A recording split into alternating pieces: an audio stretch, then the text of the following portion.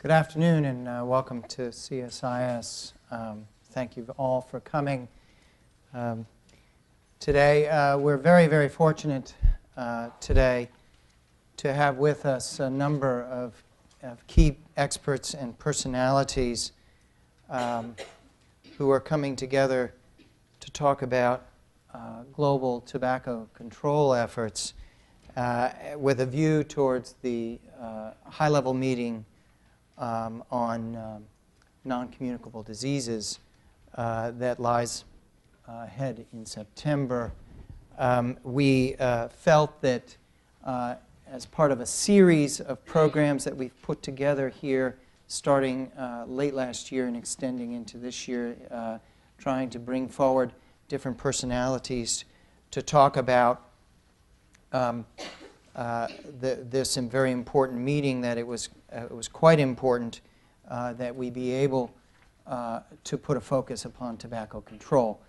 Uh, as you'll be hearing from Dr. Tom Frieden in his major keynote address here from CDC, th this, is an this is an instance in which there's been major diplomatic progress with the formation of the FCTC, several years of very concentrated effort and work and putting programs in place and gathering data and attempting to get compliance uh, uh, and, and raise the political will, and that this is a big moment as we look forward uh, at uh, moving, uh, moving uh, events um, and seizing, seizing this, this opportunity.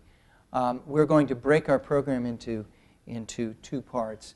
Dr. Frieden will open up uh, with the, address. We'll have a brief conversation after that, and we'll open to you for comments and questions. Uh, he'll have to depart no later than 5.30, and then we'll move into the second part of our program where we'll be having a, a roundtable discussion with a number of prominent individuals who've come to us today, uh, who I'll introduce as we get seated, um, who are uh, from their own individual institutional settings are key players in implementing and moving forward uh, the vision for how to achieve much lower prevalence and much greater control uh, over the uh, use of tobacco worldwide. So please join me in welcoming Dr. Tom Frieden today at CSIS.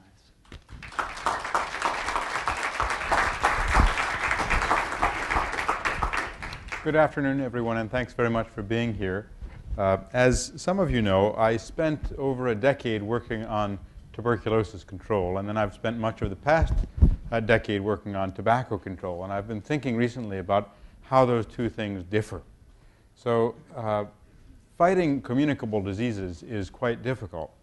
Uh, but I find that fighting non-communicable diseases is even harder because microbes such as Mycobacterium tuberculosis don't, for example, lobby politicians to allow it to continue to spread. Nor, in fact, do they fund scientists to say that really TB is not so bad. Nor do they rebrand themselves as uh, light or low tar uh, TB that would be less harmful, or pay for ads with beautiful people to say that uh, their lives were enhanced by having TB. So there are real problems in non-communicable disease control, and we need to have our eyes open about them, or we will not have success.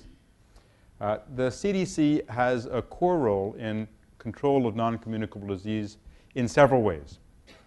First, surveillance and epidemiology, and you'll be hearing later uh, this afternoon from Samira Asma, who has worked with WHO on the global tuberculosis surveillance system, which really is the first non-communicable disease surveillance system that is worldwide.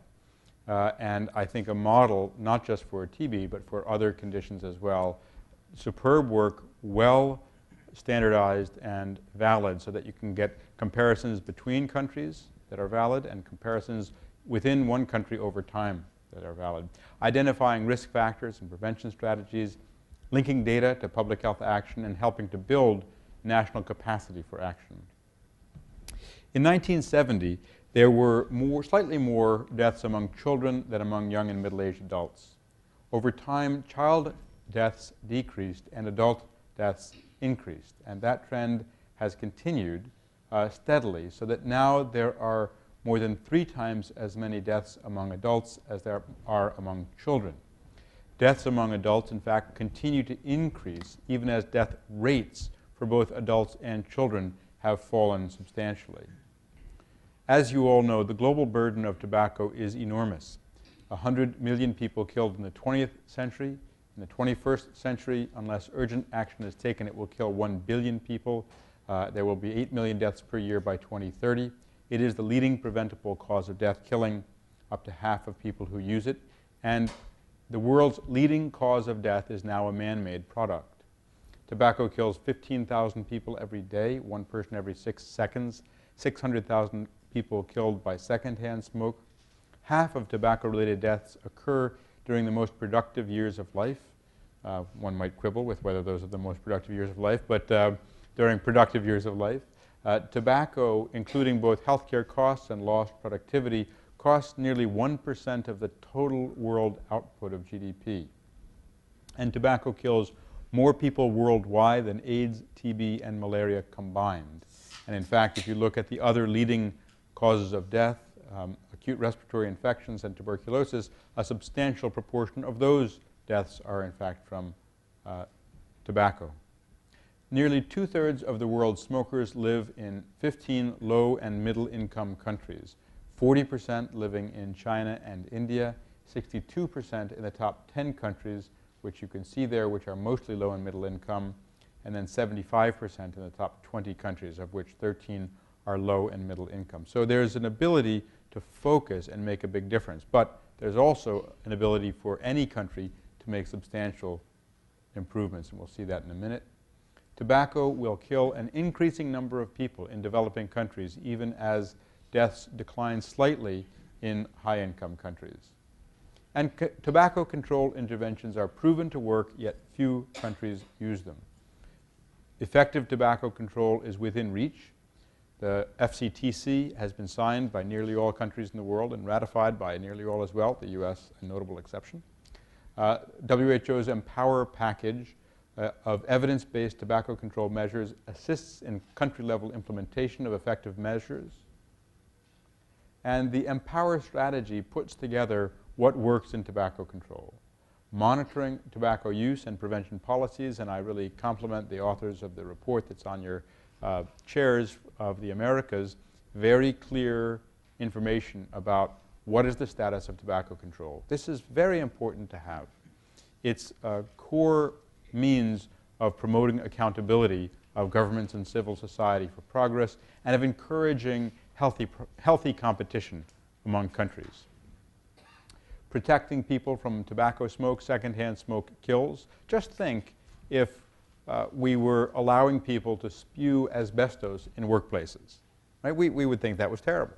And yet secondhand smoke is killing people at a much higher rate, and we allow it to continue to occur despite uh, the signatures on the FCTC and the fact that it is well documented that going smoke-free saves lives, doesn't hurt business, and doesn't cost money to implement.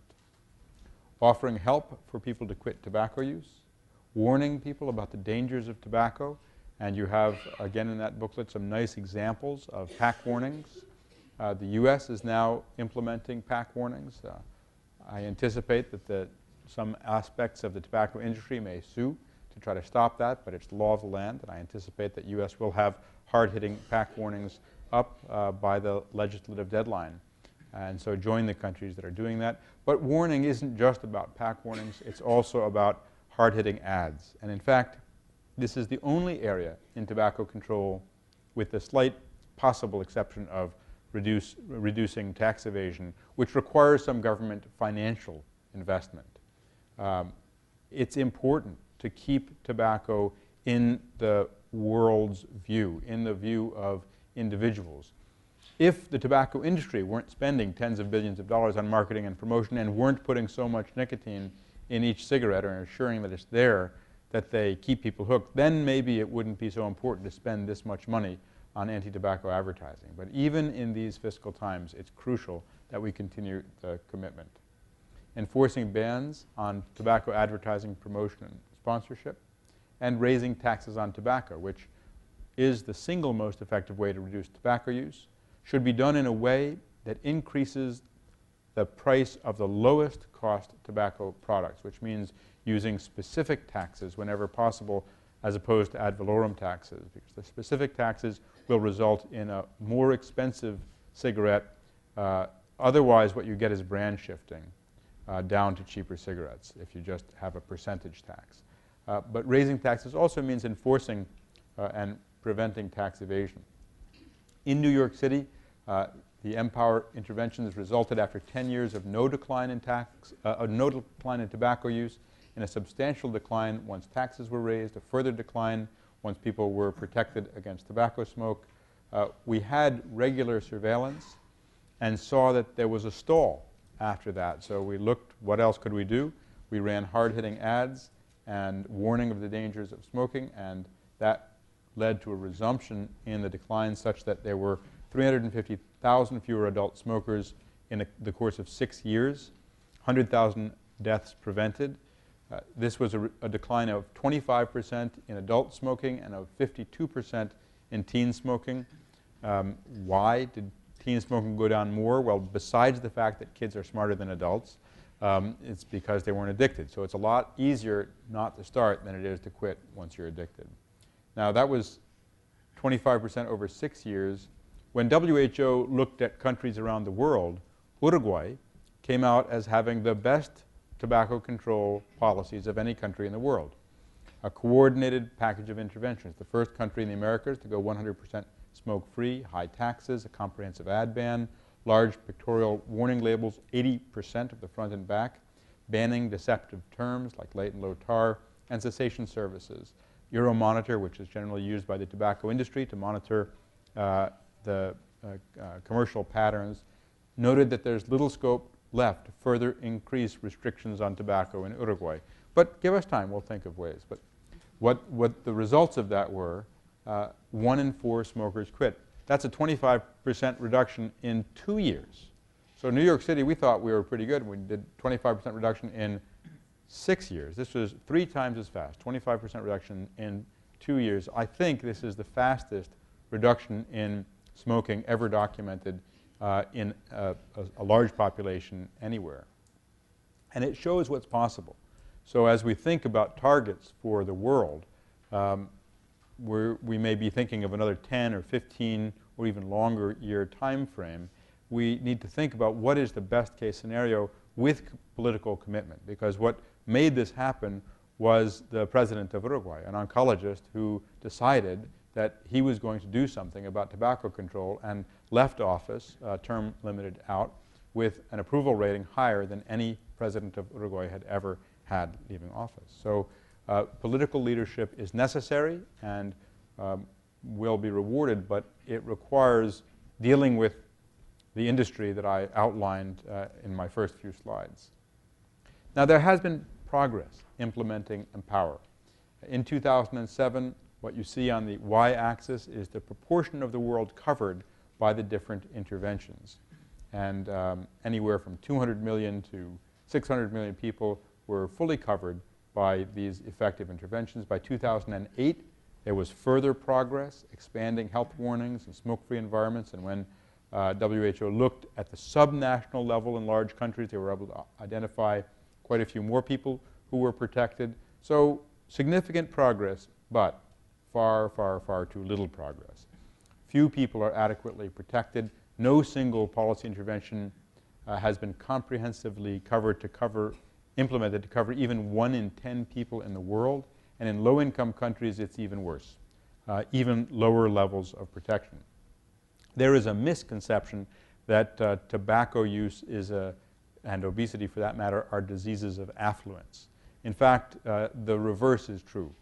What you will see in virtually every country in the world is that um, usually perhaps after an, an initial period, but as of today, that rates of tobacco use, rates of obesity, rates of alcohol, harmful alcohol use are much higher in low, lower socioeconomic status groups than they are in higher socioeconomic status groups. And uh, this is a major challenge. The Global Adult Tobacco Survey um, is really a standard. It was completed in 14 high-burden countries and is underway in six more. The results are representative of 3.6 billion people, more than half of the world's population. More than 300,000 people were surveyed in their home in a randomized cluster sample fashion. Core survey questions have been established and are being incorporated now into a wide range of surveys that countries can do and international agencies can do so that we can all finally have a common case definition of what is a smoker, what is an ex-smoker, uh, what is exposure to secondhand smoke. And because we have those monitoring tools, we can uh, make much more progress. Those 14 countries, which account for about two-thirds of the world's smokers, show about 23% smoking rate, about 30% tobacco use rate, um, about 50% exposed to secondhand smoke either at home or both at home and in the workplace. Tobacco use varies enormously by country, including both um, smoked and smokeless tobacco of all types. You see uh, usage rates that go from uh, over 40% to 16% in Mexico, uh, and very different rates of ex-smokers. So you can see, for example, in looking at the data in Uruguay, you can see a, a rapid decline. Many people who quit smoking in the last one year or five years, uh, whereas in other places you see very few people who've quit. Russia and China have very few former smokers there. Uh, in some countries, many people smoke other types of tobacco, uh, and so uh, these alternatives are generally less expensive than cigarettes. This is smoking rates, um, including bidis, um, hand-rolled cigarettes, water pipes, uh, for countries where these are common. Um, and this represents a significant challenge for taxation because the sector may be informal and harder uh, to regulate. Some countries provide far more protection against secondhand smoke than others. Uh, and health warning labels on cigarette packs are much better at motivating cessation in some countries than in others. Now, MPOWER policy intervention status is uh, not very good. And if you look at these countries, 15 high burden countries, you can kind of pick out the green. So there, there are some countries that have gone fully smoke free. In fact, there's at least one, other than enforcing bans, there's at least one green in each category, but not many more. Uh, and uh, some partial and a lot of red here. So quite a bit of uh, uh room for improvement. Implementing tax policies can save lives, increase government revenues. Uh, one estimate suggests that uh, just in nine countries, increasing tobacco taxation would generate $40 billion a year in revenues and save 28 million lives uh, by helping more than 100 million smokers to quit. There has been real progress in global tobacco control a $500 million commitment from the Bloomberg Philanthropies and the Gates Foundation. Between 2007 and 2008, 19 countries strengthened tobacco control policies. Nearly 400 million people uh, were covered newly by at least one MPOWER policy at the highest level of implementation, increasing from 1.2 to 1.6 billion, so about a third increase. Uh, and some countries, such as Uruguay, have had very rapid progress. The Bloomberg Initiative has strengthened a global movement that precedes it uh, and has been joined by the Gates Foundation. Um, but hundreds of organizations are now working on tobacco control in dozens of countries. And civil society is getting stronger and stronger, and this is crucially important. Governments are also getting stronger. This is crucially important. The third WHO MPOWER report will come out in the summer, focusing on health warnings. But despite progress, more and faster progress is needed. The level of awareness of the harms of tobacco and the range of those harms is quite low, particularly in certain parts of the world and in some populations. Implementation is scaling up far too rapidly. The tobacco industry continues aggressive opposition. There is in many countries a lack of political will for tobacco control.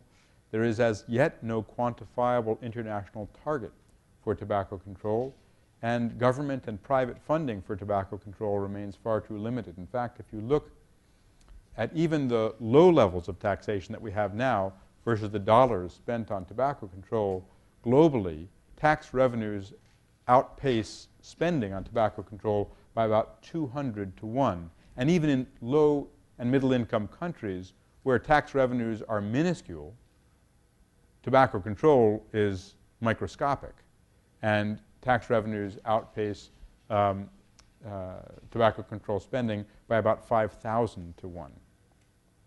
In fact, global tobacco control is drastically underfunded compared to other leading causes of death. And the message of this slide is not that we need to underfund other things as well, but we need to invest in tobacco control as a best buy in health. We estimated that 150 million lives could be saved in the 21st century by achieving a modest target of less than 20 by 2020, uh, less than 20% smoking in any country by the year 2020. Uh, this would result in uh, current smokers quitting and future smokers not taking it up. The High Level Summit, as you all know, provides a unique opportunity. Uh, the first in 10 years. The goal is to prioritize prevention and control, to focus on developmental and other challenges and social and economic impacts, to secure support of government and heads of states for things that they can meaningfully commit to and then be held accountable for. I will say that there is a, a, a concern, and I've put it a little controversially, uh, about avoiding a clinical trap. Uh, now, clinical care is very important, and for things like blood pressure control, uh, can make an enormous difference and should be done. But clinical measures are never going to have the population impact that measures can have uh, that are policy and affect all people. So take the example of tobacco control. Clinical cessation services are very important, and every doctor should be an advocate for tobacco control. Every smoker should be advised to quit. Every smoker who wants to quit should be prescribed medications which will double or triple their chance of succeeding. That is all true. But even if you do that very, very well, you will not have anything like the kind of impact that you'll have by smoke-free environments, hard-hitting anti-tobacco ads, tobacco taxation, or banning advertising, marketing, and promotion. The role of global tobacco control is very important for NCD control. If we can't do tobacco control, we're not going to be able to have success in anything in NCD control. It's the most preventable of all of the NCD risk factors. There are already considerable policy gains and commitments, and the approaches that are used can easily be applied to control of other non-communicable diseases and their risk factors, building on the investments already made. Margaret Chan has said that reversing this entirely preventable epidemic must now rank as a top priority for public health and for political leaders in every country of the world. Thank you very much.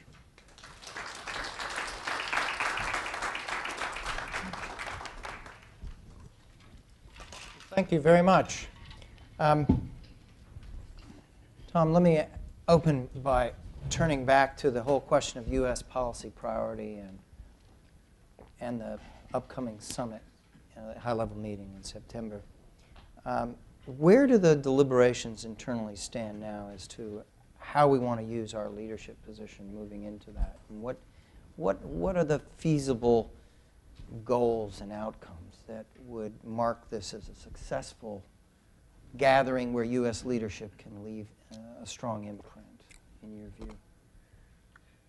Well, I think it's a challenge. I think we have uh, a few challenges. On the one hand, there will be pressure from many sources not to be too controversial. Mm-hmm. On the other hand, there will be challenges from many sources to include as much as possible. And the challenge in any UN undertaking is the risk that you have high sounding and wonderful, uh, you know, uh, well written, flowery language, but nothing that's actually actionable, measurable, and accountable. And what we hope to achieve is to identify a limited set, uh, what I hope to achieve. I, am not speaking for the US government as a whole right now, uh, but what I hope will be achieved through this whole process is a limited set of actionable, accountable measures which will enable us to galvanize progress mm-hmm. uh, in tobacco control and other leading causes of non-communicable diseases. Can you tell us a little bit more? What might those look like in terms of? I mean, I realize there's still deliberations around this, and the Moscow Ministerial lies ahead, and there's plenty of other moments, but what would that, what would success look like in terms of the, a very targeted effort with, by the U.S. to shape that? One issue would be specific measurable outcomes Mhm. that um, leaders could commit to. In tobacco control, those might include, for example, prevalence Mhm. numbers. They might also include policy commitments with specific timeframes. Mhm. Uh, in uh, other non-communicable diseases, uh, there's a lot of focus on the, some of the nutritional battles Mhm. that we know can be won. Mhm. Um, and there's a lot of discussions now at the global level on, for example, sodium reduction and what can be done in terms of sodium reduction. These are things that are well done with coordination, so lend themselves to uh, global efforts and also have the benefit of not costing a lot of money. Mhm. Uh, looking at also in the dietary arena the issue of artificial trans fat and whether that can be phased out over time. Now, one of the comments that people often make who work in this area is that there's been a, a, a consistent barrier in leveraging high, high-level political commitments. And, and that getting ministries of finance, getting heads of state, getting folks that are really powerfully placed to step forward has been one of the key factors. You mentioned this in some of your remarks. This meeting that's coming up is, would look like a pretty choice opportunity to try to, from within our own government and other governments, change that picture a bit. Can you comment a little on that, and what might be possible? As you know, the U.S. has signed, has a, a law that allows us to do a lot more than we could do two years ago in tobacco Mhm. control. So that puts the U.S. government in a position of being able to say, yes, we're implementing Mhm. health warnings. Yes, we're uh, requiring disclosure of product contents. Um, yes, we're looking at ways to further restrict um, marketing and promotion uh, in the U.S. we hope to see leaders emerge who are willing to do what Tabaré Vázquez did in Uruguay and Mhm. say, we're going to be an example. And we hope to see really a, a, a constructive, healthy competition between countries to see who can achieve the biggest progress. I recall many years ago hearing of uh, two health ministers in uh, Central America. One asked um, at a news conference, what's your infant mortality rate? And he leaned over to his chief of staff and said, uh, what's, and named the other country, 51. Then, then ours is 49. um, now, based on real data from GATS and other sources, we hope that countries will begin competing for having smoke-free environments. And we're seeing some interesting things already where uh, tourism is at potential risk. As more environments become smoke-free, people who are used to smoke-free environments become far less tolerant of, of being smoked on and exposed to carcinogens. So there are countries that are recognizing that they had better accommodate the growing smoke-free world if they want to maintain their status as desirable destinations. Um, it also expresses a sense of being healthy and forward-looking. The challenge we have, again, is uh, the challenge of the tobacco industry really obscuring the tremendous benefits to governments and society of going smoke-free. I was just reviewing for, for some countries, um, at least a quarter of pregnant women smoke. And the burden of that on the next generation is enormous in low birth weight, in Mhm. complications of pregnancy, in neonatal intensive care unit stays. And the number of pregnant women exposed to secondhand smoke is also a tremendous burden on the next generation. So there's a lot that we have to do to encourage political leadership. And one of the best outcomes from uh, the September summit could be the emergence of countries who are willing to say, we, we are going to make a difference and we're going Mhm. to hold ourselves accountable. You saw Putin uh, Mhm. commit recently Mhm. to substantial improvements in tobacco control in Russia. What will actually happen, we'll see. Mhm. But at least now there is a clear commitment of a powerful government to do something about it. And I think what you're seeing in an increasing number of countries a recognition of the importance. You're also, through the work of GATS and other surveillance systems, you're beginning to see some countries that thought they were doing better than they're doing recognize Mhm. that they too have had a stall in their progress and they had better refresh their strategies and reinvigorate their work if they're going to resume a downward trend. Now, we've seen a lot of progress in Latin America. and We'll hear a bit about that from uh, Adriana Blanco and others on our next panel. Um, if you were to, I mean, you, and you mentioned Putin, I mean, wh- where else would you see the possibility of a, of a shift, of a, you know, if you were to look out and say, okay, under an optimistic scenario, in the next couple of years, we could really see some big pivotal change occurring on account of, of political change, a change of consciousness, a change of leadership position. Where would you, where would you point us?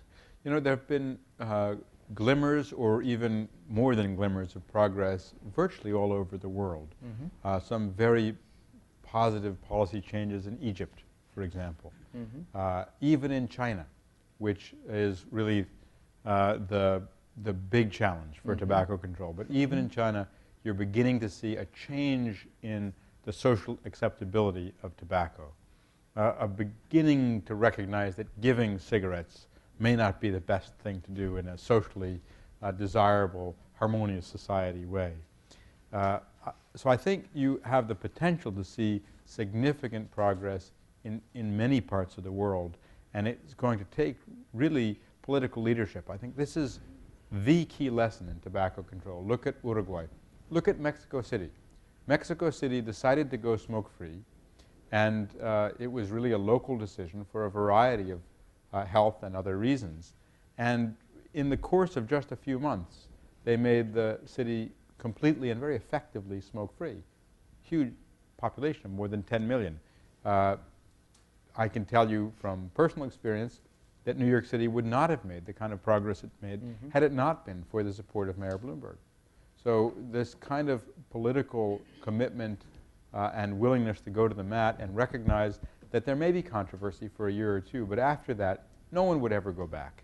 No one would ever go back to a world of a smoky restaurant or a smoky workplace once they've had a few months or a year or mm-hmm. two of living in that smoke-free, purer, cleaner, healthier, more wholesome environment. Can you just talk about the economic interests and the power of industry? It's not just the tobacco industry. I mean, when you were in New York, you faced a hailstorm of opposition from, from restaurants and bars, and, and, and you had to change public expectations in order to sort of punch through that and, and get to the other side. There's a lot of, of, of, of claims that the industry in, in many of the emerging markets and, and low-income countries that the tobacco industry wields enormous power. Can you just comment a little bit on that, on sort of what are the limits or the crevices in that, in that power, and what would the strategy look like for, for tackling that? Because clearly, many leaders are not det- deterred from thinking anew about, well, my city or my country really does need to begin to recognize this. And they have to calculate that against rising costs and, and a different change of consciousness among their own voting publics. Well, first, on the issue of smoke-free environments, it's, it's Mhm. quite clear that uh, going smoke-free doesn't hurt business. That's been shown repeatedly. It's also clear that business has an interest in it being a level playing field. So if you do allow many exceptions, that creates uh, economic um, inefficiency Mhm. that is harmful both to individual businesses and to business as a whole. So going smoke-free comprehensively is really quite important. The tobacco industry is a formidable enemy, to be very blunt about it.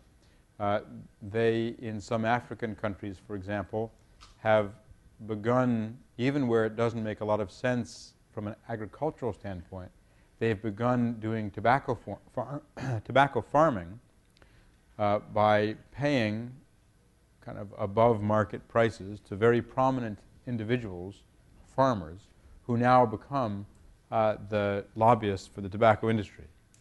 Um, they, in many countries have raised the employment issue. So interestingly, in China, with simply mechanization and rationalization of the tobacco monopoly, there have been over 100,000 jobs that have been in excess. Now that is despite the uh, consumption of cigarettes unfortunately continuing to increase in China. But they waive tobacco control as a threat to social stability and employment mm -hmm. uh, in many countries. And these are real challenges. Um, I think um, emphasizing the issue of costs and being able to express costs more clearly is very important. In the U.S., it costs about $2,000 more per person per year to take care of a smoker than a non-smoker. Now, if you say that, well, yes, but they're going to die sooner, so they'll do us all the favor of doing that, and they won't have pension costs or health care costs for that longer period of life, uh, that's a very crazy argument if you think about it. So we have to start with the agreement that we're, we're all not better off dead. Um, and we want people to live longer and healthier lives. And good evidence from around the world suggests that not only do people who smoke die about 10 years younger, but they feel about 10 years older for those shorter years that they live.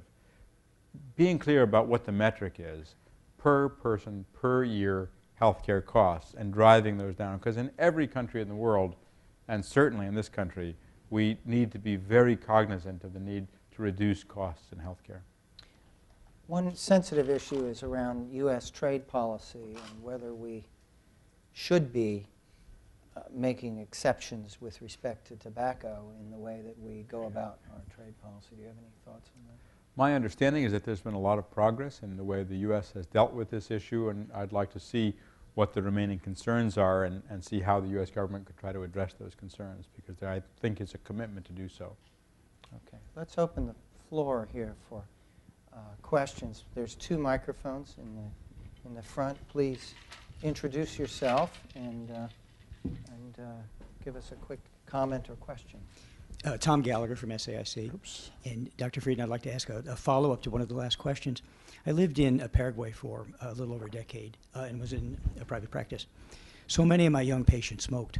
And as I saw smoking decline in Uruguay and decline very, very uh, dramatically in uh, Brazil, where you could smoke anywhere, not 10 years ago, now you can't, Paraguay is different because one general owns the uh, concession for to bring to bring a tobacco in. Cigarettes today cost a package in Paraguay, I don't know, 30, 35 cents a package. And they have a, a fairly stable economy. How do you stop cigarette from being sold when there's so much money in it uh, for the government? Is there any power that can that can intervene somehow in a country like Paraguay?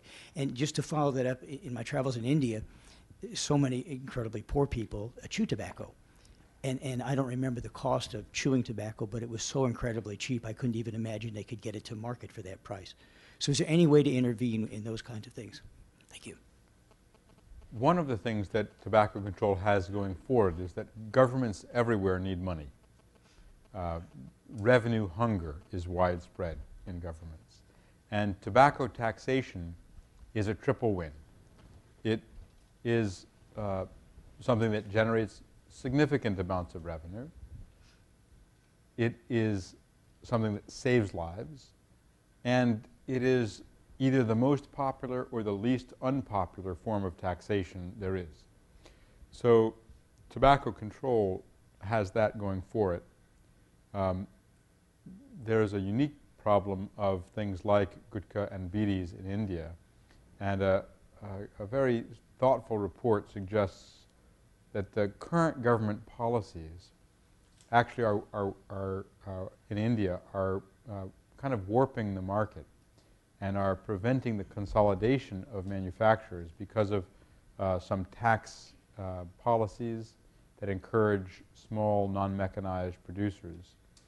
Um, and if those policies were to change, you would have a consolidation of the industry which would then enable uh, you to tax and regulate more effectively. There's a lot of efforts in India dealing with um, Gutka and Bidis, and uh, the, the, the, panel can, discuss, can discuss those with much more detail and knowledge than I can. But um, it's a problem, but ultimately it's a political problem.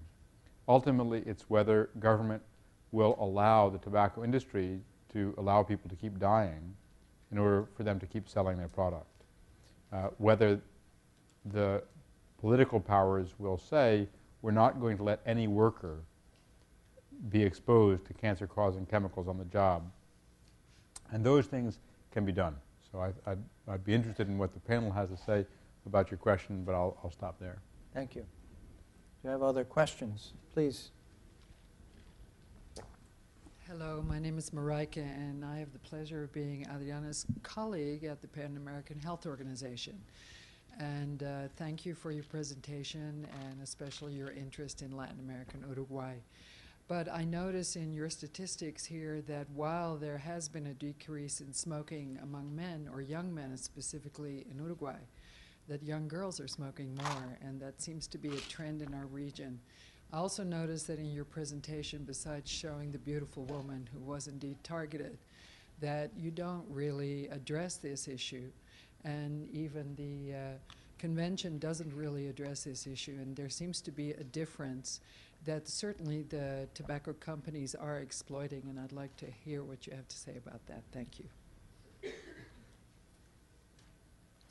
Dealing with uh, men and women separately is very important. And the trends are, are just wildly different in different countries. China continues to have a rate of female smoking that's under 5%. Russia has a rate of female smoking that's almost as high as their very high rate of male smoking. So uh, different countries have different patterns, and it's very important to address those separately. And you're absolutely right that the GYTS strongly suggests that uh, increasing smoking among girls and women is a major issue that has to be addressed. Going smoke-free uh, will help with that. Raising taxes will help with that. Running specific hard-hitting ads that address uh, women and counter the actions of the tobacco industry is very important. Looking at the slim and ultra slim and mild and low tar and uh, highlighting those for the hypocrisy that they are, I think are important methods. But this is definitely an area where we need to both better understand how to counteract it and take action and see what works. In the US, we're seeing something slightly different. We're seeing a continuing steady decline among female smoking, but uh, the men, who of course are not as smart as women, are, are, uh, are not uh, decreasing their prevalence as much. Um, so I think it is important to look at what works for different subpopulations. The same is true for, for example, uh, some of the racial and ethnic minority populations, tribal populations. Uh, um, American Indians in this country have an extraordinarily high rate of smoking. And um, interestingly, educational status has a kind of uh, interesting pattern in many countries where the lowest strata does not smoke the most, perhaps because they don't have the economic power. But when you get into kind of lower, middle, or upper, lower uh, uh, socioeconomic status, you have the highest rates of smoking. And that is something that requires uh, very targeted, focused effort. Other questions? Yes, sir. And Good afternoon, Dr. Frieden, Monty Green from SAIC. My question is uh, related to, I guess I'll call them again, additional social trends. Uh, one of the observation as a parent uh, and someone who works in the community with many of our youth, um, there seems to be a trend um, that with the diversity of cultures um, that is that is changing. Um, whereas our ads tend to focus on cigarettes and smoking, it doesn't necessarily focus on tobacco. And the trend that I think we're seeing, especially among our youth, is moving toward things that are more acceptable in tobacco use, which certainly still causes the same problem. As an example, hookah is becoming very popular, uh, where you now even see in your nightclubs, your dance halls, places where youth as a pop culture get together that it is freely acceptable to have hookah pipes throughout the dance facilities, those sorts of things. They have hookah restaurants et cetera, et cetera. My question is, as these trends continue to make this issue more complex, uh, how do you see uh, the role of the CDC or other organizations addressing uh, these other trends uh, that are more focused on other tobacco and cultural issues? Thank you. On the one hand, we need to understand them better. On the other hand, we need to intervene more effectively. So uh, other smoked forms of tobacco, hookah, bidis, um, one of the things that we've learned is people are very good at rationalizing. So uh, California ran a very good campaign a few years ago. If you're a social smoker, you're a smoker. You know, any, any tobacco smoker is a smoker. And uh, the harms are quite substantial for any smoked product, and the harms are quite substantial for chewed products. One of the things that CDC does very uniquely is our tobacco laboratory in our National Center for Environmental Health. Our tobacco laboratory um, has smoking machines, perhaps the only smoking machines outside of the tobacco industry. And they have been able to document a series of uh, really, I think, shocking findings. For example, um, the increase, the increase in free nicotine available in um, chew tobacco has been manipulated enormously so that a few years ago there was a huge increase in the amount of free nicotine available from chew tobacco. Now, free nicotine is essentially crack nicotine. It's very rapidly absorbed, it's very, very highly addictive, and it's what the industry learned to increase by um, changing the pH of cigarettes and increasing the addictiveness of cigarettes. And we need to understand those, those trends and then we need to counteract them, both with education and where appropriate and feasible with regulation. Vinayak Prasad from WHO Geneva. Dr. Frieden, um, very interesting uh, presentation you gave. You mentioned the uh, one-fourth of the women have a direct secondhand smoke exposure.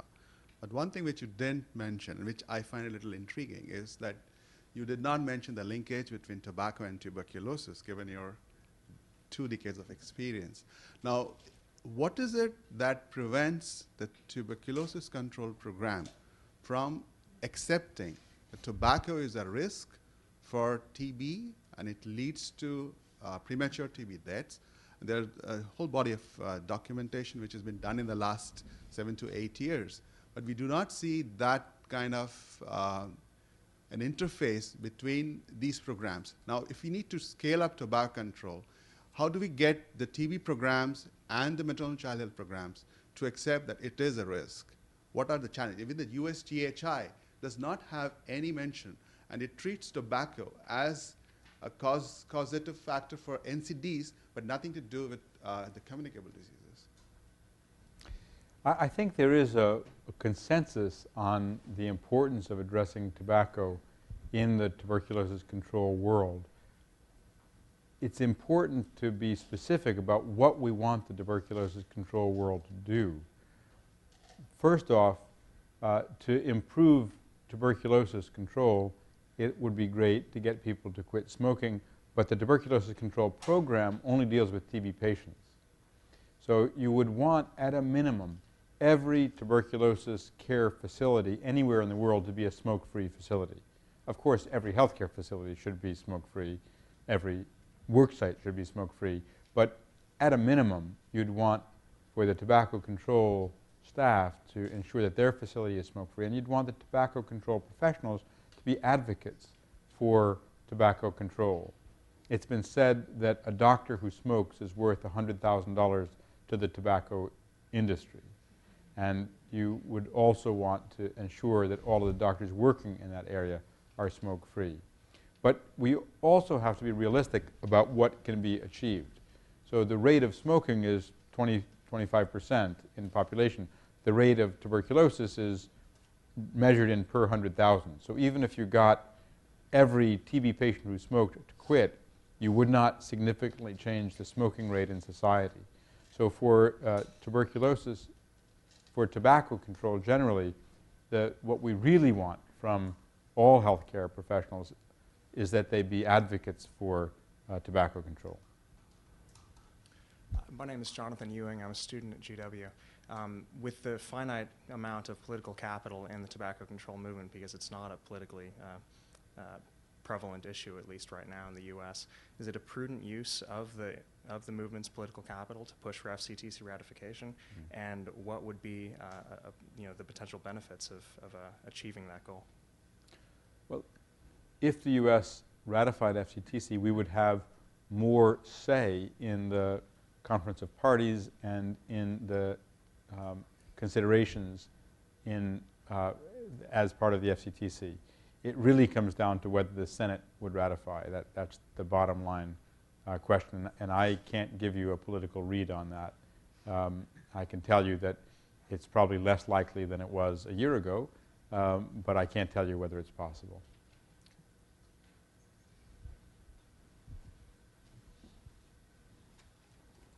Thank you, Dr. Frieden. Um, really enjoyed your presentation, which I thought was very straightforward and also very gave some powerful recommendations moving forward. Um, my name is Mark Hayes, and I'm uh, work with Corporate Accountability International. We've been involved um, on global tobacco tr- control work for a while now, and um, I thought it was uh, really good how you were able to identify the one key criteria, which is real, true leadership from um, politicians who have the power to move this forward, and a need to acknowledge the um, the vested interests of the tobacco industry and some of the, the, the power they're putting forth. And one key element of the FCTC that we have worked uh, on closely has been Article 5.3, which deals with safeguards to prevent or restrict tobacco industry interference in implementation of the FCTC and other uh, tobacco control policies. And um, I think my question for you is, um, you know, I would make the case that um, 5.3 is one of the tools in the toolkit that different parties to the treaty have, among the other tools you've laid out, to push for more successful and thorough implementation.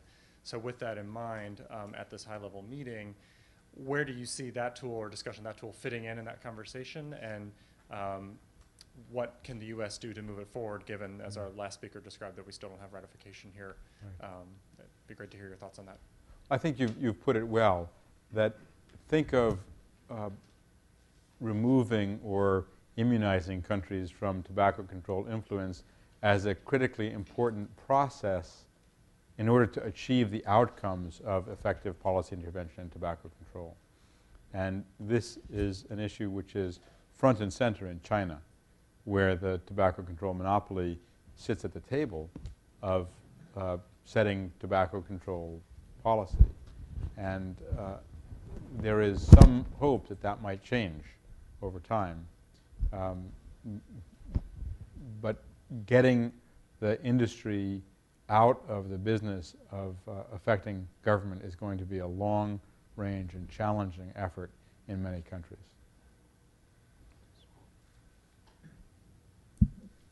Hello, my name, uh, my name's John Bloom. I'm a consultant to health groups on tobacco policy issues. And I have a question about um, an executive order that was issued late in the Clinton administration on global tobacco control. And I think most of it has been well implemented and, and is kind of historical now. One of the key provisions, though, was that HHS would be consulted and fully involved in tobacco trade policy issues going forward. And in the last administration, that seemed to happen uh, when it happened at all in more of a, a very pro forma last minute way. And I'm wondering if you're satisfied with how that's implemented now? Is it fully implemented, or is that something that um, is still a work in progress? Thanks. My understanding is that uh, the situation, as I said earlier, is far better than it was, and there's a real commitment. Uh, it's not as if we have to convince other parts of the U.S. government to do the right thing. They want to do the right thing, and they're working uh, to do that. If there are remaining specific concerns on trade policy, we should become aware of and address those. Tom?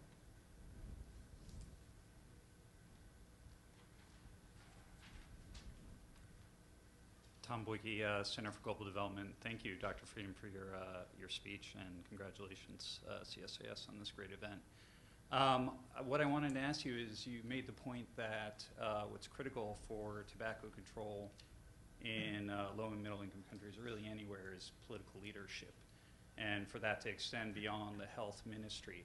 And I think that's true. I think that's probably true for a lot of health issues, whether that's HIV or other. And I think part of the way that has come about, or the role the U.S. government has played in that, is by making it clear that it's a global health priority to them. And I think CDC has done a lot on international tobacco control, but I was wondering in the lead up to the summit, what more do you see the U.S. government being able to do to signal that global tobacco control is a priority to it, to give the political space for leaders in countries to come forward? Is it making it an explicit part of the GHI? What, what steps what steps can it take specifically?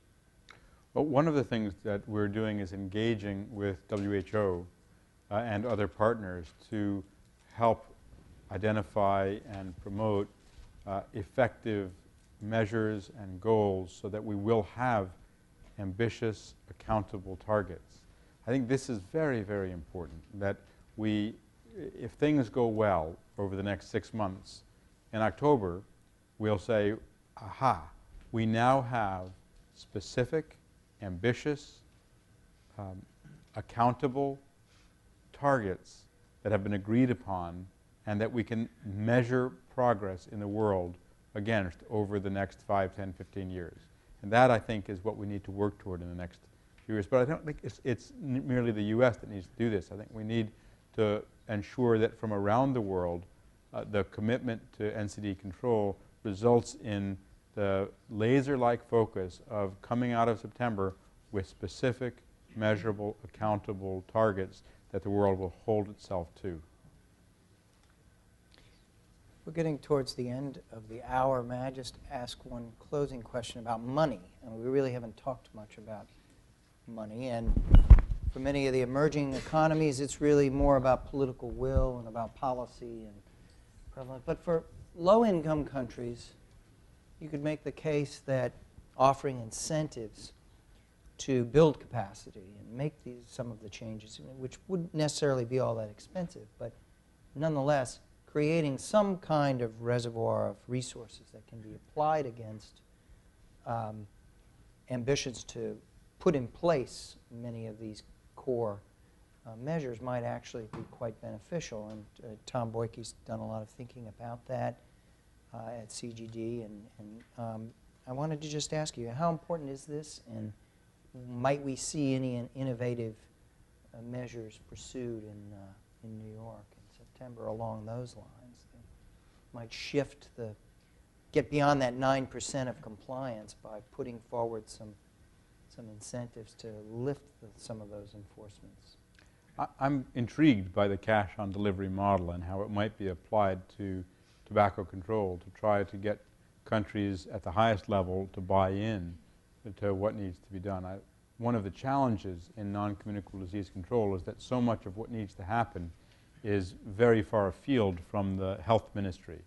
And um, the health ministry can advocate. Mm -hmm. The health in, in various countries, the health ministry may be able to administer or document, but ultimately it may be the finance ministry or the prime minister's office or the justice uh, ministry that has to actually take the action.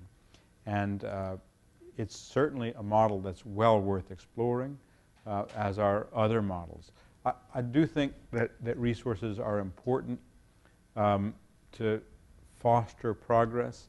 Um, the ability of the WHO, CDC, World Bank, IMF to provide technical support to countries mm -hmm. to try to increase taxation and use that to run programs is, is very important. I think one of the lessons we've learned in the U.S. is that although uh, from a purist standpoint you might say there's no reason or it's inefficient to earmark tobacco taxes for tobacco control, politically it makes enormous sense. Mm. First off, it increases even further the, the political acceptability and popularity of tobacco mm-hmm. taxes. And second, it provides you with a revenue stream that enables you to continue to drive down tobacco use rates. And without that, you're really challenged to continue to make progress. So um, tobacco taxation is a potential way of generating resources for tobacco control. Um, I don't think the world community can rely indefinitely on the Bloomberg and Gates foundations to fund this. uh, bilateral donors are going to be hard-pressed to fund non-communicable Mhm. disease control, um, both because it's a policy issue and because it doesn't have the, as obvious a self-interested argument. Um, so it is going to require leadership at the country level if there will be progress. Please join me in thanking Dr. Frieden. Thank you. Thanks so much. I'd like to invite our next panel. Please come forward and we'll get started.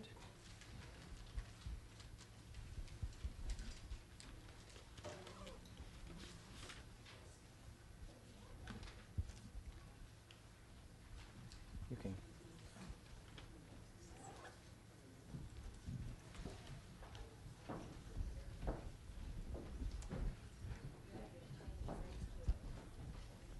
Hi. So we're going to jump right into the next phase of our session here. Um, we have uh, uh, four very diverse and very distinguished personalities who work on different dimensions of tobacco control. Uh, on my right, Yolonda Richardson, uh, who's an official with the Campaign for Tobacco Free Kids. She's an attorney.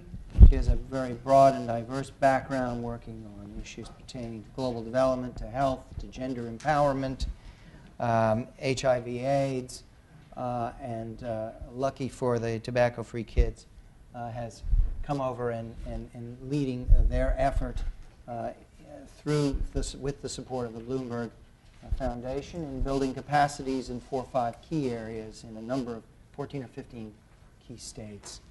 Um, uh, next to me is Dr. Uh, Vinayak Prasad uh, from WHO, where he's the senior advisor on the Tobacco Free Initiative. He also uh, is very active in that role uh, in, in, in, build, in an aggressive effort to build capacity in, in Africa. Um, he comes with an extensive background as a medical doctor and practitioner, years of service in the Indian Ministry of Health and Family Welfare, as well as work in the Ministry of Finance on taxation and smuggling. Um, to my left, uh, Samira Asma from CDC.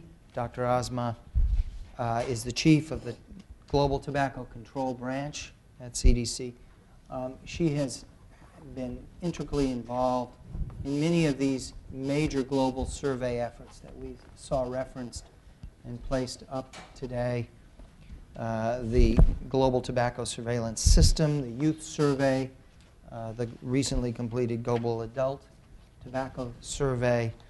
Uh, she's very involved in the training program, the Field Epidemiological Training Program, and its application on tobacco control. Welcome, Samira.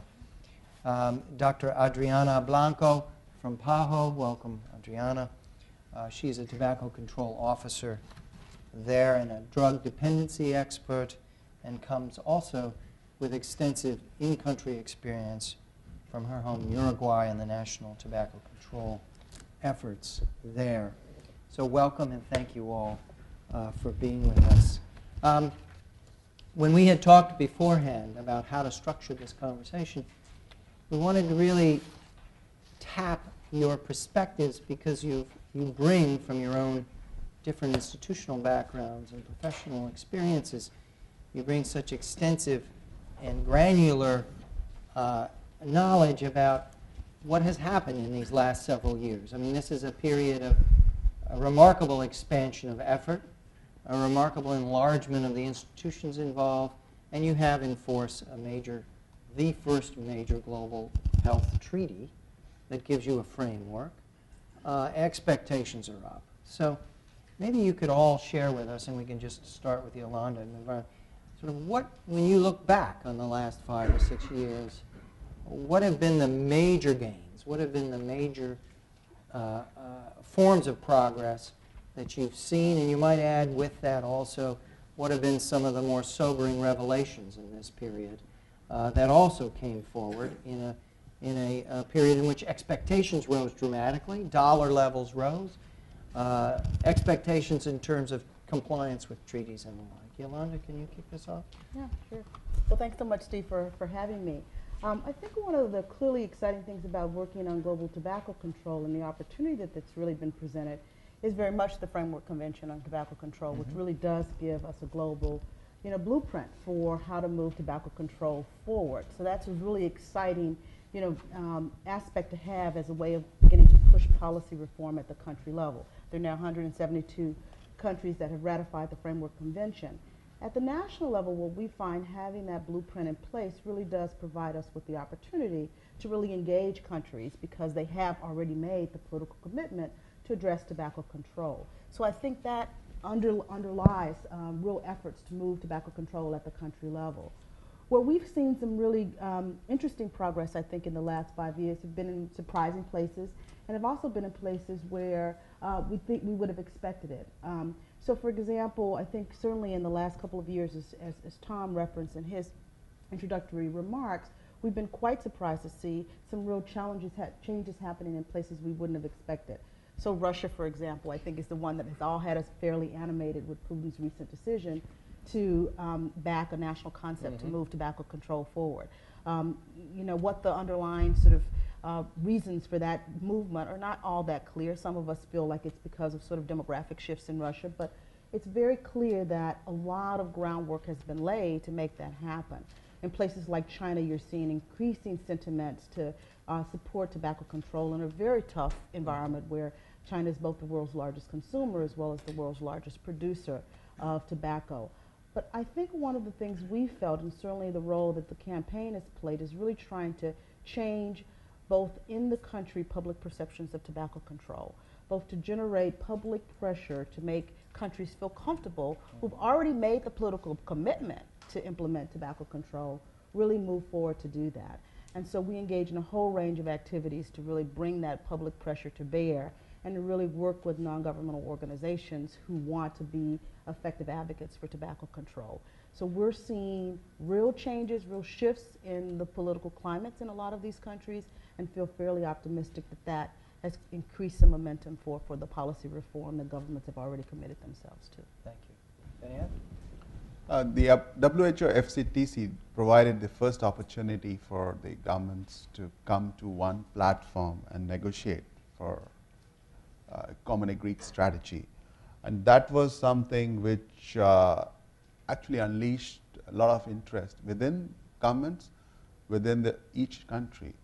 So if, you, if we look at uh, that as an opportunity, uh, it, it, is, it, it helped articulate, for example, with my own, own limited experience of having worked as a focal point in the Ministry of Health, I could go back to the minister and say, Minister, we, we ratified this, we can do this, it's within our mandate, we can make a law, and he could go to the cabinet and get it done. So some things which, were, which are within the purview of the ministries of health were easily done, are still manageable to be done. But there are things within the FCTC which, like for example, raising taxes, it's not within the domain of the Minister of Health, it's still not there. So what has happened is over the years, the acceptability level of on tobacco control has gone up in the ministries of health. It's still not reached uh, a stage where we have acceptance of all stakeholders. So uh, that's the that's the progress which we have made in the last few years. Uh, I would say in most of the countries. And the summit, uh, the way I see it, allows us to create that multi-sectoral higher level engagement, both within the governments and between the governments, on, on moving to the next big step for tobacco control. Thank you. Samira, what have you discovered and seen your work? Oh, during the time when FCTC was being negotiated in 1999, um, there was a loud cry for data from majority of the developing countries. There was a clear lack of data mm -hmm on which they could base their arguments. That led to the uh, development of the Global Youth Tobacco Survey, which was initiated in nine countries in 1999. And what, what we have seen today is now, over 10 years, we have a coverage of uh, GYTS and the data emerging from about 180 countries. And this is a system where countries have repeated the survey several times, at least up to four times in majority of the countries. And they have used during the negotiations the data that was emerging as a result of these surveys facilitated by WHO and CDC that led to many countries even ratifying it, even though it was youth specific data, but this was the only data that countries could base their arguments. It was not only focusing on the prevalence of tobacco use, but also key tobacco control indicators uh, on which the FCTC framework was designed. And uh, during the course of that phase where the FCTC began its negotiations to its ratification, uh, and today we recognize that there was still a need for adult data. And that led to the Global Adult Tobacco Mhm. Survey as a result of the investments from the Bloomberg Initiative. Uh, and now we have 14 country data that was presented. So I see that uh, we have a very solid database and evidence base uh, that we could uh, evaluate uh, what works. And I think the MPOWER strategies and the articles uh, outlined in the Framework Convention uh, can really uh, be driven by the data from the countries. Thank you. Adriana. Well, I agree with all my colleagues here that the milestone is obviously the WHO FCTC. I think this is not only a milestone for tobacco control, and most important, I think this is a shift in the way that public health may be done from now on. And I think that the summit will be a win-win situation because I think it's not only will help to enhance tobacco control, but I think that they're going to take some experience from the tobacco field because we have some experience to show. Mhm. We have seen how controlling, for example, smoke-free environment has led very in a short period of time to the decrease of the increase or the decrease of the incidence of infarction of myocardial. And this is very a very important thing because usually government think that tobacco control will have some gains know, and winning things in the very long future. And we are showing them that in short period like one year, they can see something, something very important going on on the people. So I think this is important. At the same time, I, I, as Thomas Frieden said, that it's very important to have concrete uh, goals because uh, I think perhaps one of the weakness of the FCTC is that it doesn't have teeth. It hasn't has a way in order to, to really make the countries accountable. Even though we are trying to find some other ways, for example, one interesting way is to link uh, this treaty with other treaties, like for example the one in human rights. So it's very important when you are talking about smoke-free environment, for example, that there is a lot of human rights uh, rights in, involved in that, and you can take this issue on the side on the field of the human rights, and there they have a, an international court, and they have mm-hmm. uh, again teeth for, for taking this. And for mm-hmm. example, in Guatemala was one of the things that was used by a court, domestic court in order to keep a smoke-free environment legislation that had been sued by the tobacco industry. Yeah. This is very interesting because, I mean, what I hear you saying is that of the new factors that are at play, we have a civil, civil society organizations that are appearing that did not exist with the same level of energy and expertise. We have ministries of health that are empowered by the treaty to make their case. We have the power of new data. We have demonstration cases, the Uruguays and others that are proving short-term gains are within reach and, and, and having imp- impact, and the power of concrete goals. Now, there's a lot of outstanding business to be done, and we do have this meeting in September, which we'll come back to in a moment, because I do want to ask you what you see as the, the most achievable, robust, feasible goals the, within tobacco control that should be targeted there. But before we get to that, let's turn things around, and, and I'd like to ask each of you, you know, what do you fear the most looking ahead in the next 10 years?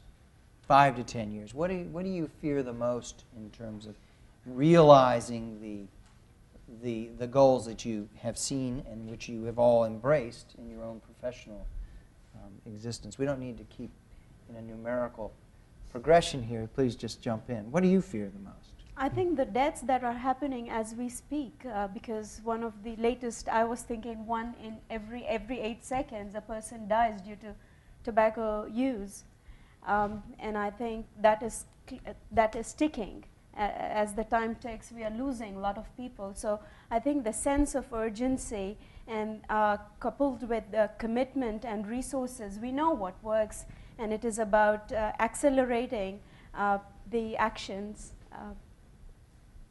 But what do you see as the major, as, as your major obstacle, the major hindrance in being able to achieve the things that you're, you're, you're, you're hoping for? We know uh, the industry as, is an obstacle and we recognize that. But despite, we have seen examples like the Uruguayan example mm -hmm. or the mm-hmm. Russia example, and I think it is the political commitment that needs to be uh, invigorated. And if we see more of Uruguay's and more of Russia's leading the way, and if there are a group of countries that could become uh, uh that spotlight leading that change towards uh, summit and beyond.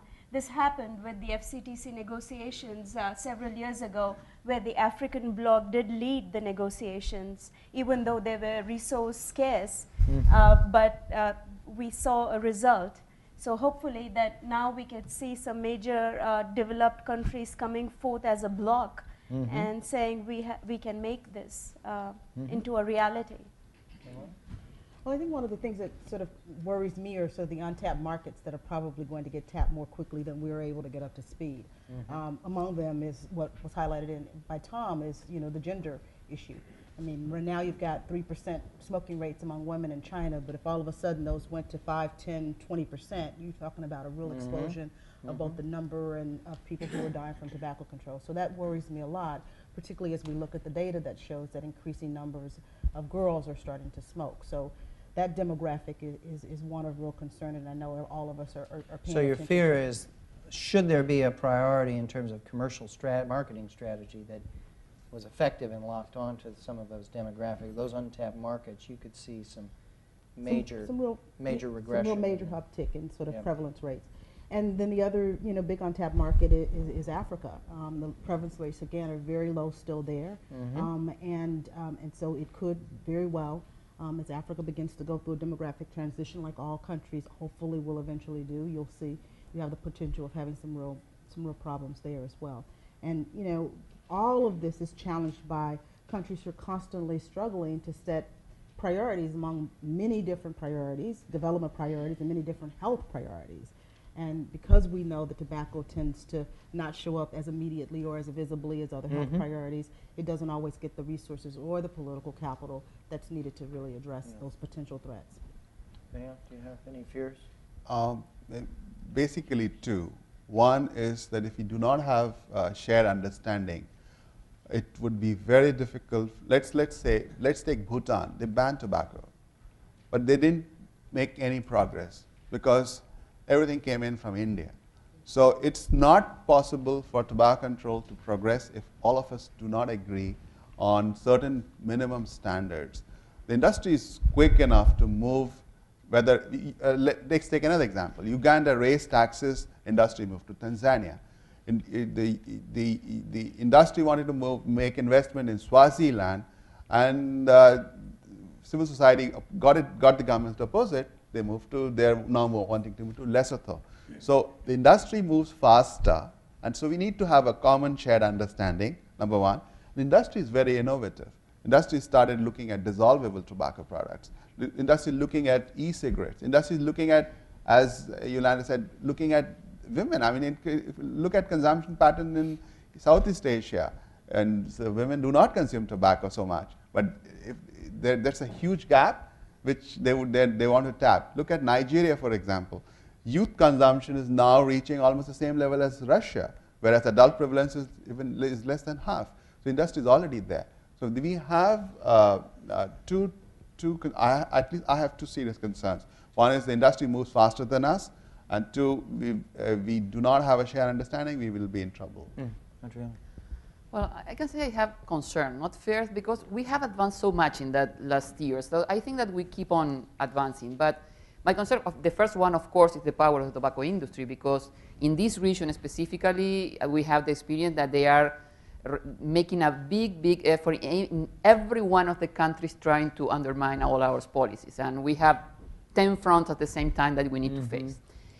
The second thing uh, I think is the that I think is the, the basis of the problem. That is the the thing the, the relationship or the the way that you that the world will see profits versus public health. And I think this is something that needs to be discussed because today is the tobacco industry, but tomorrow with non-communicable diseases will be food uh, companies, uh, many others. So we need to begin to think that there should be a limit for profits when there is an involvement of the public health. So, and, and I think this will be very difficult because uh, I think there are enormous forces, forces beyond that. And the third concern that I have that, that we, people from public health, we cannot evolve in the way we need. We still, even though we say that these things are out of our reach, but still we are using the same uh, ways uh, of addressing the, addressing the problem, like the biological approach and this, and we need to evolve. I think we, we, did, we did it in a way, but we didn't it enough. We still need to begin to learn another languages to speak to other publics in order to mm -hmm. put them in our side. Mm -hmm. Have we entered a phase where the legal challenges um, from industry are becoming sort of the front edge of the battlefield right now, do you think? Yes, uh, we are seeing that uh, the industry is going farther and farther. Be at the beginning, they, they uh, threatened the countries with a suit when, with a suit when they are trying to uh, pass a legislation. Mm -hmm. Now they are definitely going to, to make this, these cases when the legislation, legislation is already passed. And now Uruguay is an example of that they go to international court and specifically courts that are from the trade and from the commercial uh, side in order to push the country to, to get forward or get back of their measures. Uh, Uruguay is now being sued by the Philip Morris mm -hmm. uh, because of an investment treaty that Switzerland has with Uruguay and they are suing with three main things that are the size of the health warning, that as Thomas Frieden say is the biggest one in the world, mm -hmm. the content of the health warning because they say they denigrate the product, and the another uh, legislation that we have in Uruguay that is that there is allowed only one presentation per brand. And this was done because even Uruguay banned the lights, ultralight, and this kind of uh, misleading descriptor, still the tobacco industry played with colors and with other logos that they have in their marks in order to mislead the people that some uh, brands still are less dangerous than other. So in Uruguay, you cannot have, for example, Marlboro Red, Blue, or Gold. You may have only one Marlboro. So they are, this is one of the, the key points of the, of the suit. And we are in the World Bank. It's not a, it's not a curve that used to be, to be very good for countries. Usually they are supporting the private sector more than the country. So it, won't, it will be a very difficult mm -hmm. situation for Uruguay. Um, let's turn to the high-level meeting, the NCD high-level meeting in September, and um, maybe you can share with us, each of you, what you would think of as the as the one or two most feasible and valuable kind of achievements or outcomes that could come from that. We've heard about policy changes, prevalence changes, targets. That seems to be very much in the um, in the era of discussion. And then, how do you get to those? You know, how, how do you realize whatever it is you think is the is the top priority? What do you see as the political strategy for bringing those forward and then carrying them forward to see compliance? Because when you look at the data on the treaty, it was a sort of mixed, you know, with Tom Frieden's presentation, it's a sort of mixed set of messages. One is, it was, the treaty was historic. It, it can created a political consensus. It gave benchmarks. It put people on the hook. It also has, you know, when you start doing the measurement, shows you some dispiriting, some dispiriting outcomes, lack of compliance and teeth, enforcement, incentives, wills, all of that. So with that in mind, as you look forward into, uh, into uh, September, um, what is it? What is it that we should be thinking about that will not just put us again into a position where, uh, where targets are set which aren't necessarily enforceable? How do we get to a position where we're stronger rather than, rather than weaker or even? Yolonda, what's your feeling? Well, I think, you know, by far to me, one of the most exciting things that, um, uh, about the opportunity um, represented in the high-level meetings is to take tobacco control outside of the sole purview of the Ministry of Health. I mean, the one benefit is that there has been a public health treaty, and that's been Mhm. fantastic and brilliant and has gotten us as far as we've gotten. Mhm. But the opportunity to really bring the full weight of the entire UN system around tobacco control is quite attractive. You would have the opportunity to really ask, and I think one of our asks ought to be that we make sure that tobacco control is integrated into all of the mechanisms throughout the UN systems and the bilateral and the multilateral the bank, banking system, so that all of the, the full weight of the UN system is really directed toward looking at tobacco control. So whether it's you know, the UN Commission on Women is looking at the gender dimensions of, of tobacco control, or Mhm. whether it's UNFPA is looking at what are the demographic implications of tobacco control, or the multilateral banks are having being called upon to say, Mhm. how does tobacco impact our lending programs or our, or our granting programs? To put that full weight behind, of the UN system behind tobacco control would really be, is for me, one of the Mhm. most promising aspects of what we could get out of the high-level meeting. Um, it also, as I think Tom rightly s- said, with the Framework Convention on Tobacco Control, we have an overarching blueprint for tobacco control. And so to have the UN system further endorse that by calling on, on member countries to really put, make the commitment to fully implement the FCTC. Now, while the FCTC doesn't, um, in its architecture, have a lot of the specifics, the guidelines do. They don't have the force of law, but they have the specificity, I think, that helps us begin to get some depth Mhm. around the FCTC. So having countries really help hold themselves accountable to the commitment they've made under the FCT and the specificity that's offered by the guidelines really does mm. provide two powerful ways for us to move tobacco control. So there's formal outcomes in terms of targets and specificity and perhaps mechanisms that give greater pressure and incentives for compliance. There's the intangible or the more political outcomes that you're talking about, which is bringing the right people to the table to stand by this, elevating it to another level than where it was before. Samir, what do you think? Uh, the fact that there should be a healthy competition and an accountability tied to whatever is being signed off by the governments and the heads of states that would meet in September. I think articulating that and getting the commitment there would be important, but how do we articulate what those accountability criterias or elements might be could be uh, drawn upon from some of the uh, easy to achieve targets like the smoke free in pub, uh, public places. Uh, a, a easy target could be set where all the countries could potentially sign off and there could be an interim way to review the progress an independent body could potentially review the commitment that would ultimately be signed in September.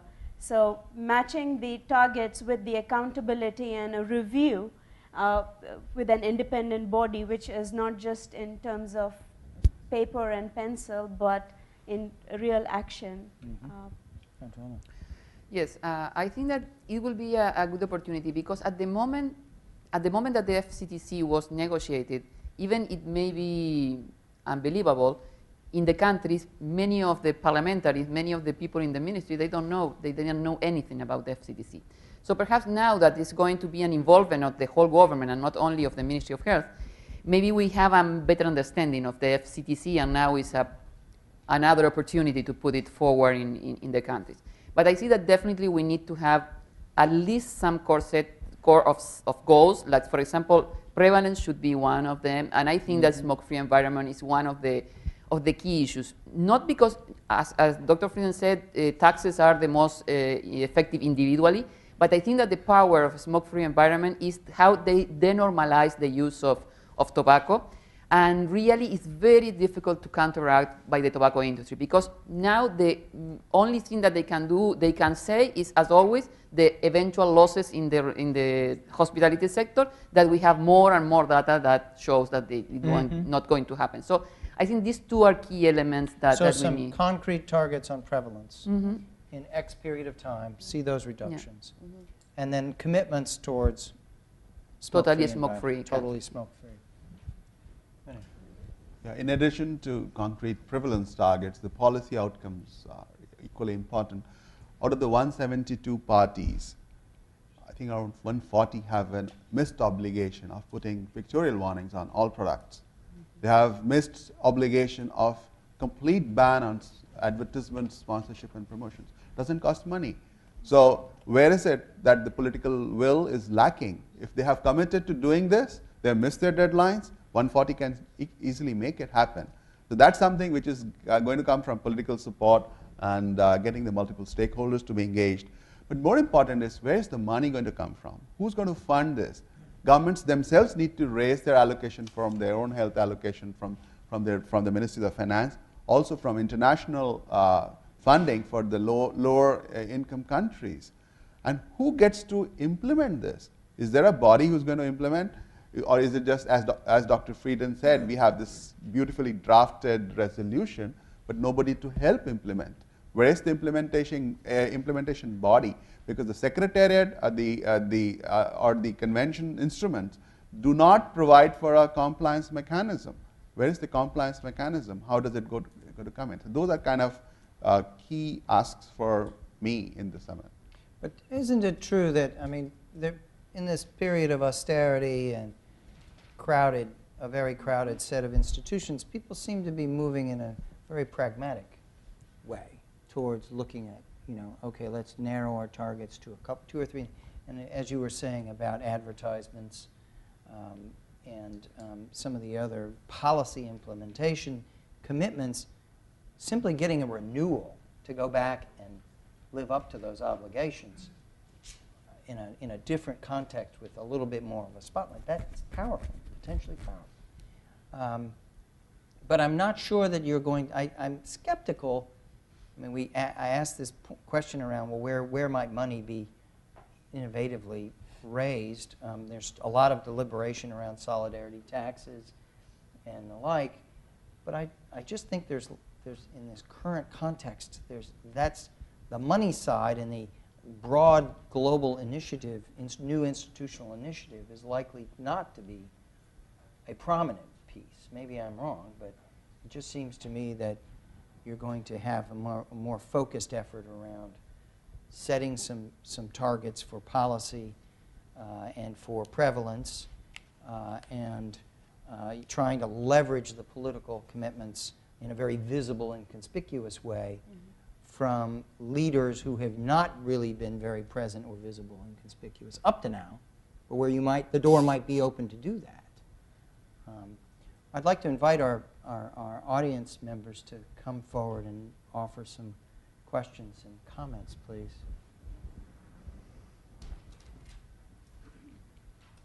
Hi, I'm Prabhu Pongcha. I'm a consultant to the Robert Wood Johnson Foundation and some other groups. I come from a tobacco background when a three cent increase in tobacco taxes was considered a major victory. Um, you talked about uh, suing the industry or the industry suing governments. Have there been examples of uh, public health organizations suing governments for not implementing FCTC? Is there anything in the FCTC that would give a local NGO an opportunity to bring a lawsuit against a, a, a party that signed the treaty? There, there are a couple of examples that are interesting, all that took sort of different um, sort of takes.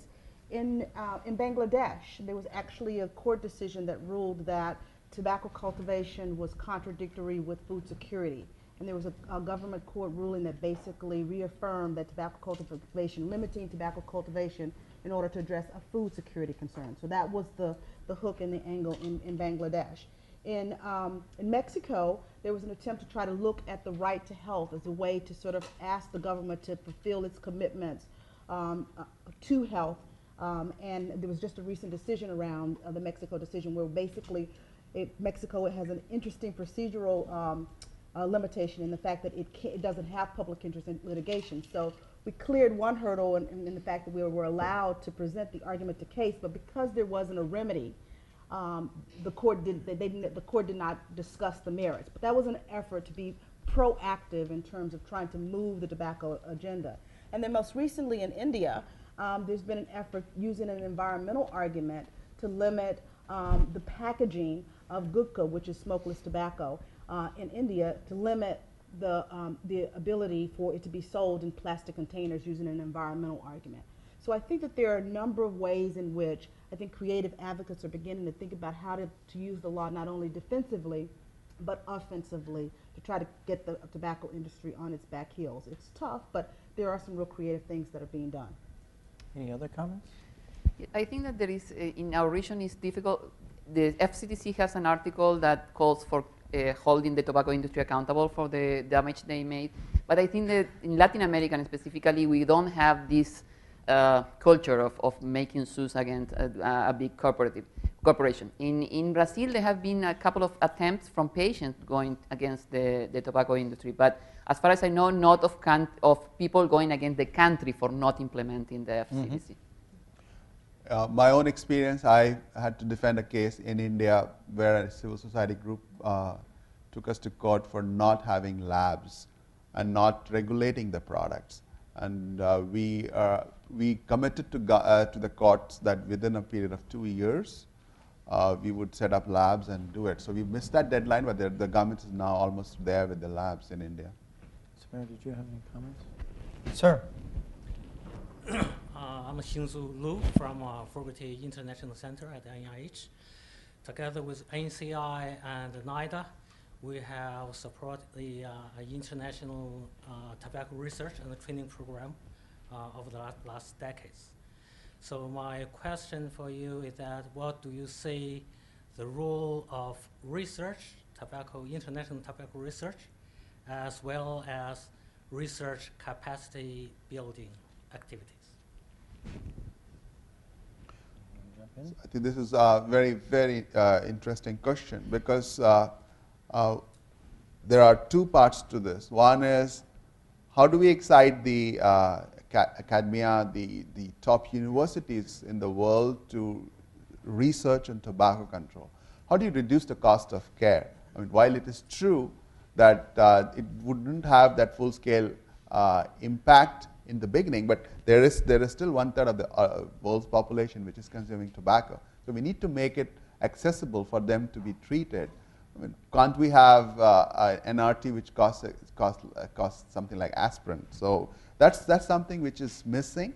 We do not have that research, we do not have that focus. And uh, the other area of research is to document uh, some of the work which is done because people do not know what's happening in different parts of the world. So there are efforts, for example, NIH is working now on a global report on smokeless tobacco. So it's important to document some of that finding and help countries uh, implement tobacco. Yes, in, in this region, I can tell you that we have both need, the research and the capacity building for research, because the countries are constantly asking us for help them to have new data that they need to, because uh, you know, many of the data that we have is from developed countries. So countries need to have their own data in order to push their own uh, authorities to move. So really, as PAHO, we will be very, very interested in seeing how we can enhance this in the region because it's a very important need that we, we have. I would just echo that as well because what we find, uh, we're very committed to evidence-based advocacy. So mm -hmm. we are constantly being asked when we're engaged in advocacy activities, help us show, make the case, whether it's the case that it's not going to have an economic impact, mm -hmm. it's not a, going to decrease productivity, et cetera. Um, so we're really committed to this and think this is a very important and, and critical issue. I would say, though, that, um, you know, we haven't, because it just isn't, you know, sort of our um, mandate, haven't looked at sort of research capacity in that countries, but invariably we always hear from countries that they want country-based research. Mm -hmm. um, that it isn't enough just to show the international examples. They want to know in their country this would be applied. I mean, people believe in exceptionalism. So yes, and I can tell you that the, the use of national data is so much powerful. We have that in uh, experience in Uruguay, for example, when we used the nicotine research in order to show this was the first time that people really believed that there was contamination from tobacco smoke in the place because they saw their bars, their hospital, the, pla the places that they know really. Yeah. So it's very powerful for, for the region, for our region. Please. I would like to make a comment about what type of research. Um, I think that distinction needs to be made. I think we need to promote research that is relevant for policy and interventions rather than very basic molecular level research. Mm -hmm. Um, data already is available. It is about how we build the capacity in the country so that the data can be used to link to the policy interventions and help that uh, if policies to be progressive and evaluated uh, so that the governments can take a constant action because the data is being generated at a regular intervals of time uh, via this global tobacco surveillance system. So a caution, while we need research, but what kind of research, I think that distinction needs to be made given in the, this Mhm. resource constraint environment. Other comments or questions?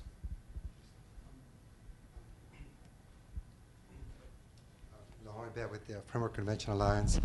And I think in, in to, to ensure that we can have adequate implementation of the FCTC, I think we've seen a lot of progress in the past few years, but to, to a large extent, a, a lack of resources. And I think this summit is one step towards integrating the FCTC, implementation of the FCTC and tobacco control in the development agenda and ensure that, and also increase multi-sectoral approach.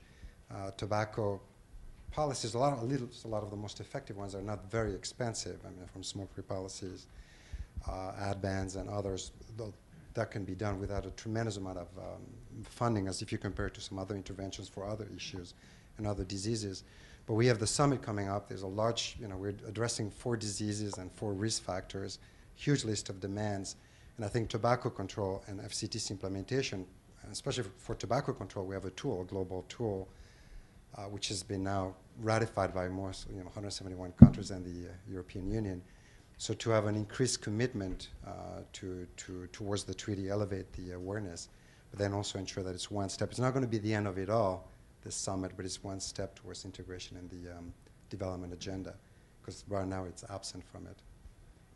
Thank you. Why don't I then ask our panelists to offer some closing thoughts um, in terms of uh, just wrapping up on looking forward to September and beyond, and any additional thoughts that we haven't had a chance to comment on.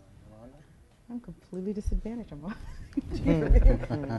um, I mean, I guess the message is, is, is that, you know, the FCTC was just came into effect five years ago. So that's a fairly short Mhm. time horizon. So I think reminding ourselves of kind of what a remarkable progress has been made just since Mhm. the ratification of the, of the Framework Commission, com, um, Convention is really important.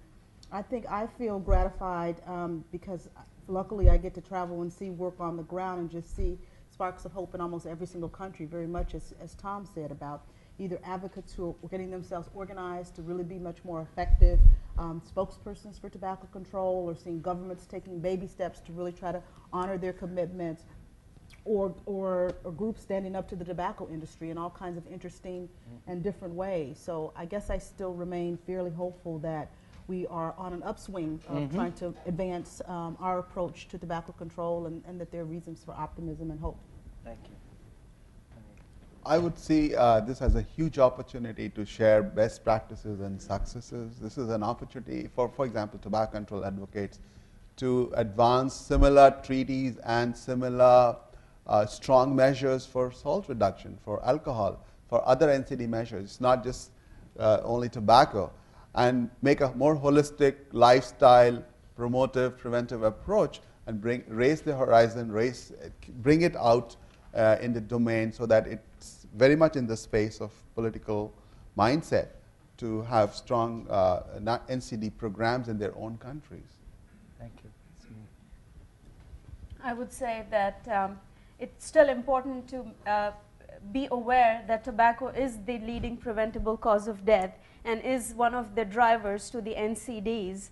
Uh, so not losing and diluting uh, tobacco uh, control and prevention at the country level within this whole bigger dialogue while we recognize that many of the risk factors are equally important, but not to lose that sight, uh, I think would be very critical leading to September. Thank you. Adriana. And I think that, as I said before, that this opportunity for, let's say, relaunch the, the FCTC, but Mhm. making more, uh, uh, more emphasis now at that it's not enough had been ratifying the, the had ratified the convention that we need to implement. The convention without national laws means nothing in the country, so we Mhm. need to improve that. And I think that we need to, to move the, the issue in order to see that these things need to be in an equal level than the Millennium Development Goals because they are part of the, the main, as, as uh, Hubert said, that the main I- things influencing development, developing in development. Sorry, my English today is horrible. In the in the world, so I think this is a good opportunity that we cannot lose Yes. for that.